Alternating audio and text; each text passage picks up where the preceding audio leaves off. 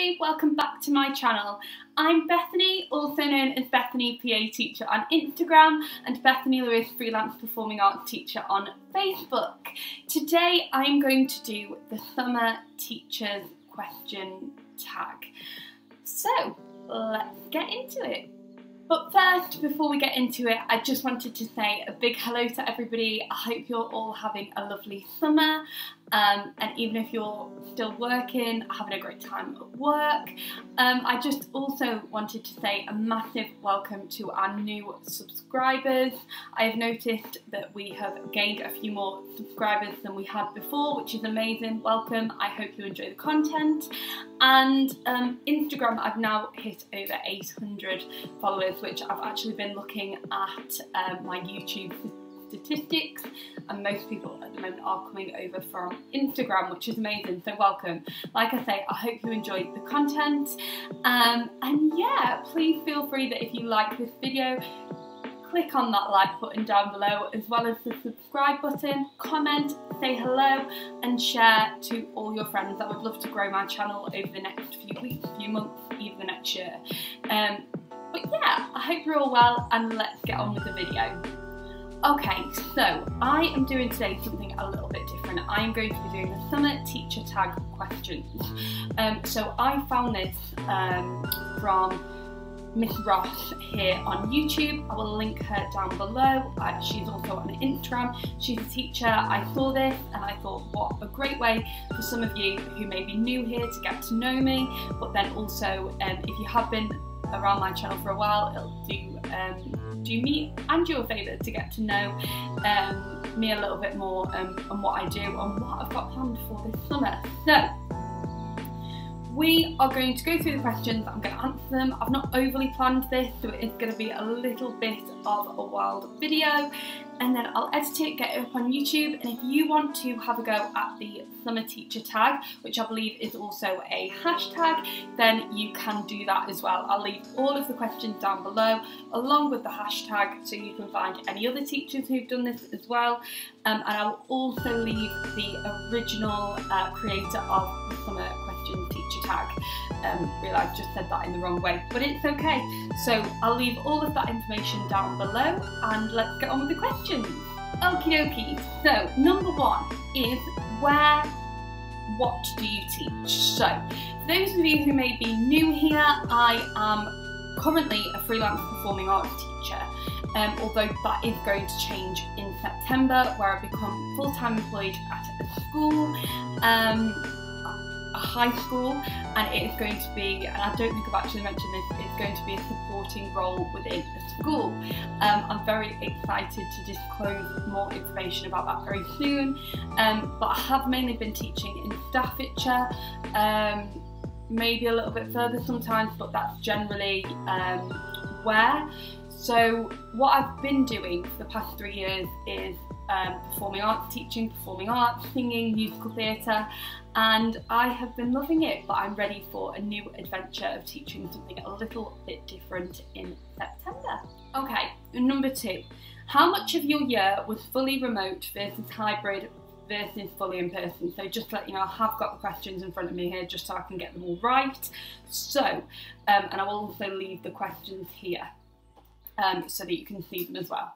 So um, I last year was really really strange for me. So if we start from September, I was working um, as a cover pastoral leader from September till October. I then did agency cover supervision from kind of October to December. Now, I worked the whole of that period, but there was a lot of times where um, schools were shut in um, due to having to isolate um, due to COVID and going online. But I was very lucky from September to December that it was all great. I had a contract prepared ready for January and I did not go into that contract until March. So in terms of from January, January till March, I did no in school uh, cover work or anything like that. I was just at home. Um, and then kind of from March until kind of now, um, or up until the end of term, I was working again. So very mixed and match. Obviously, now we are working with, or were working with provisions in place. They may change in September, um, but I was back being a pastoral uh, cover again at the end of this term, which I loved. Um, and basically, I was actually quite lucky because of my freelance stuff that is still staying with me until um, September, is that I was still able to work online. So even though I had that chunk from January until March, I was still doing online classes, I was still having to do admin, emails, etc. So even though I wasn't on agency work at that time, I was doing my freelance um, online working from home. That was very useful. I hope that all makes sense. That's very crazy. I realise. Um, but yeah, that's the answer to number two. Okie dokie, moving on to number three. What are you planning to do on the first weekend of your summer break? Now, we're way past the um, first weekend of summer break because I've seen this really, really late on, but that's not a problem. I can just tell you what I did.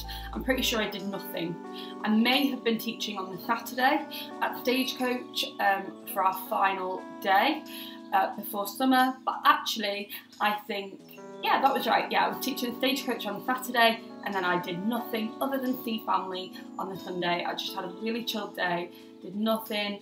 I'm always so tired at the end of term due to the sheer amount of running about that I've done throughout the term. So, um, I virtually did nothing. Visited family perhaps and had a wonderful day, but um, yeah, on that first weekend back and actually I don't think I did much the whole week, that first week, it rough.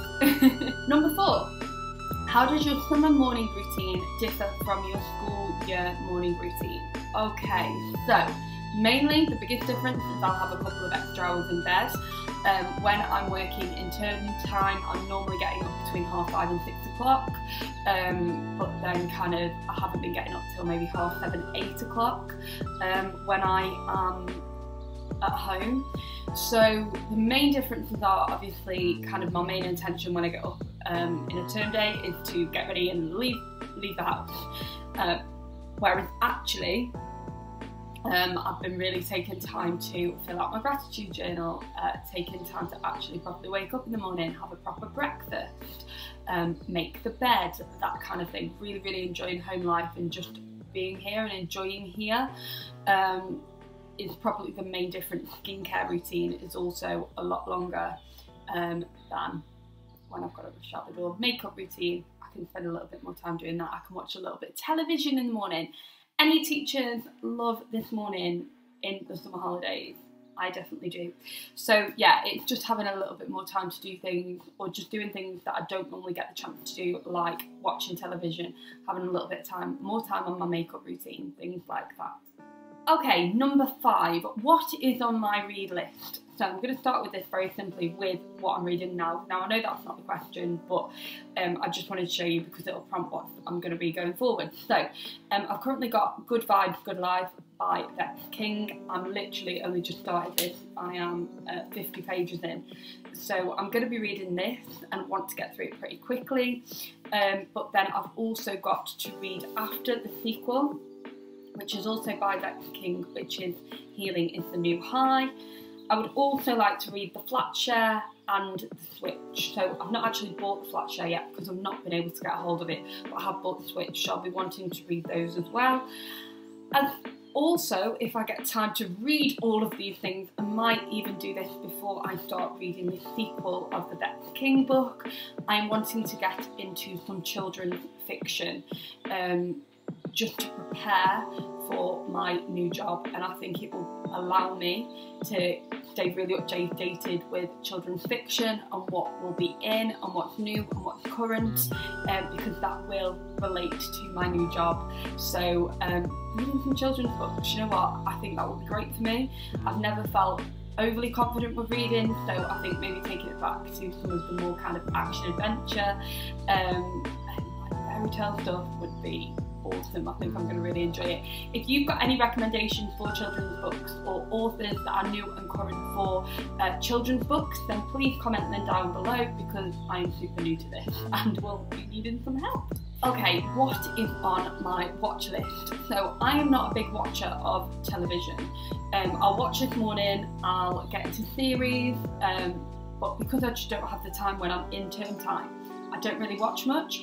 My partner and I have just finished The Big Bang Theory, which oh, I wish just stayed on forever. I loved it. I didn't think I was going to like it, but I loved it. Um, then Love Island came. Now that is on my watch list every night um, over the summer holidays. Anybody else watching Love Island? Let me know what you think in the comments below. Um, and then actually, this prompted me to have a look at my um, hair on my phone, my Disney Plus watch list. So on here, for example, I've got a lot of um, like Disney behind the scenes, so behind the attraction. There's uh, Marvel Studios Legends, all of the Marvel films I'm wanting to watch before September, before I go back. Last night, I literally just watched Ant-Man, so that's how far along I am. I'm excited to get the whole way through. No spoilers, please, below. Um, Taylor Swift doc documentary, Folklore, I'd like to watch that. Now, this, I'm really, really sorry. Um, I've not actually managed to watch Soul on Disney, so I really want to watch that. Um, and yeah, I'm just all of the Disney classics are on here as well, and things that I haven't seen in a while. I'm also currently watching um, Hannah Montana from the beginning. I've also been watching Lizzie McGuire from the beginning, and just Cheetah Girls, all of those like classics that I used to watch when I was younger, and I, I love it. Um, so mainly Disney Plus, uh, Love Island, and yeah, I think that will be it for me watching really. Okay, number seven. So, number seven is what have you been putting off for months that you hope to do during the summer? So, concentrate more on YouTube and Instagram, going to the gym. They're my three targets that I really, really want to um, actually catch up on and make sure that I've got lots of content ready for September. Um, just to to not put any pressure on myself in September. Um, obviously, then we've got the gym. I just, I kind of fell out of it at the end of the term. I think I was just too tired and the motivation wasn't there. But now I have got all the free time. I actually love going to the gym. I find that it's really good for my mental health. Um, so, yeah, that's actually uh, my top three kind of priorities. Although, I guess you can kind of put social media under one bracket also actually which will come under another question as well is uh, catching up on my ADPA really really important. I want to get that done by the end of this year. So um, lots of research. You might have seen on my Instagram that I have been doing a lot of research already and just doing the best that I can with that really whilst I've got the free time. Okay, so number eight, do you have a summer job or side hustle?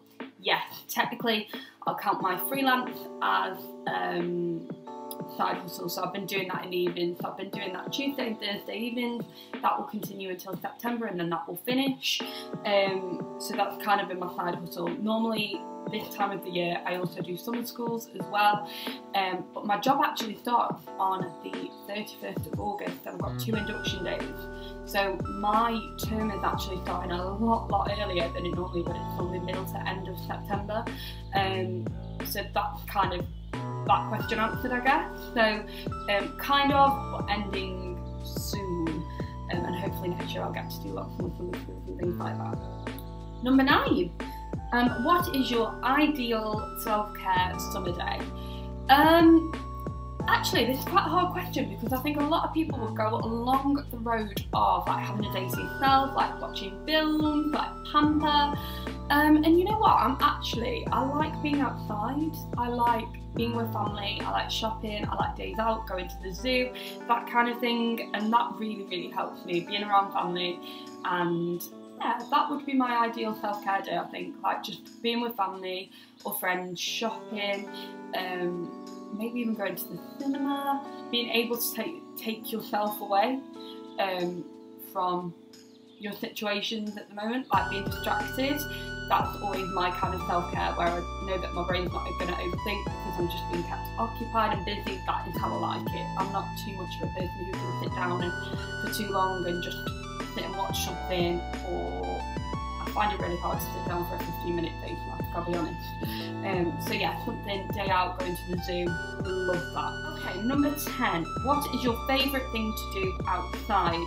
I think I've just answered that question. I love going shopping, going to the zoo, um, walks. Honestly, um, I'm so, so lucky to live near kind of lots of parks and fields and beautiful, beautiful areas.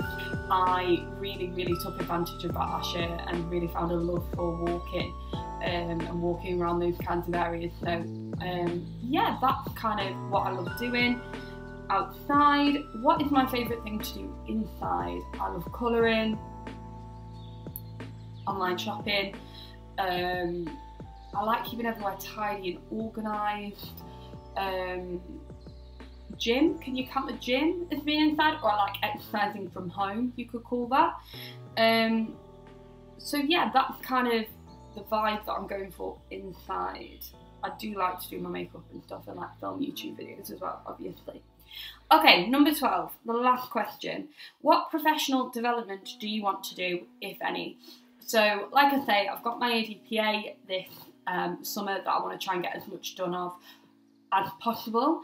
Um, but then I've also got this whole situation regarding a new job. So they could ask me to do courses at any point. I want to make sure that all my safeguarding, my um, first aid are all up to date, things like that. I know that there's been a couple of people on Instagram who have been saying about mental health courses, things like that.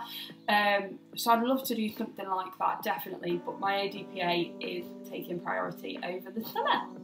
Okay, so that is the end of my video. Hopefully this is a little bit of a quicker video than usual, but it just gives you an opportunity to get to know me, to get to know what I'm doing over the summer, and I would love to hear what you're doing over the summer as well. So please comment down below what you're getting up to, as well as um, any other questions that you might have that you want me to ask, uh, want me to answer, or anything like that. Just pop it down below. I will, of course, as I said before, link the person who I saw do this first that encouraged me to do it um, and nominate anybody who wants to do it. I will also pop the creator down in the description box below with the hashtag summer teacher tag so you can go and check out all of the videos as well that have been created by other teachers and see what they're getting up to. Um, I do realise this is a little bit late on in the summer to be doing this but I thought it might be fun anyway. If you have enjoyed the video please give it a thumbs up and don't forget to comment and subscribe and share this video and I will see you in the next one. Bye guys!